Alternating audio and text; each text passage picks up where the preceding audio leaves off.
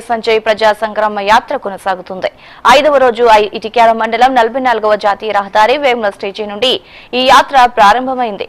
వేముల బడ్లదిన్నే గ్రామ శివారు పంట పొలాల్లో రైతుల సమస్యలని అడిగి తెలుసుకున్నారు బండి సంజయ్. షాబాద్ ఉదండాపురం రోడ్ షోలు ముగించుకుంటారు.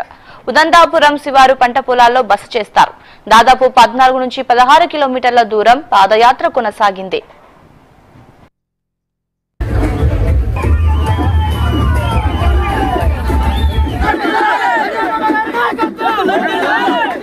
కోట గారిని కూడా వేదిక మీదకి రావాల్సిందిగా కోరుతున్నాను. అలాగే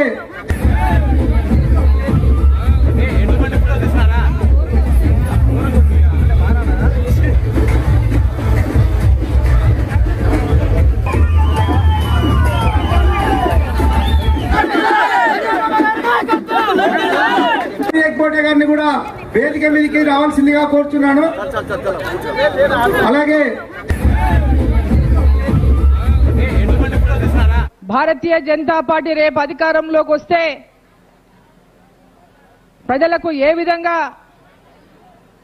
మనం పనిచేయాలి తెలంగాణలో ప్రజలు ఏమి కోరుకుంటున్నారు ఏమి కష్టాల్లో ఉన్నారని మీ కష్టాలు తెలుసుకోవడానికి మలి దశ అంటే రెండవ దశ పాదయాత్ర ప్రజా సంగ్రామ యాత్రను మన శక్తిపీఠమైనటువంటి ఆలంపూరు మన తల్లి జోగులాంబ తల్లి ఆశీర్వాదంతోన బాబా సాహెబ్ అంబేద్కర్ గారి జయంతి రోజు పద్నాలుగు అంబేద్కర్ గారి జయంతి నాడు ఈ యొక్క పాదయాత్రను ప్రారంభించి మన అలంపూరు నుంచి గద్వాల మీదుగా పాలమూరు ఉమ్మడి జిల్లా మొత్తం కూడా ఈ యాత్రలో ప్రజల సమస్యలు తెలుసుకోవడానికి యాత్రకు శ్రీకారం చుట్టి ఈరోజు వేముల గ్రామానికి కూడా మీ అందరినీ కలుసుకొని మీ కష్ట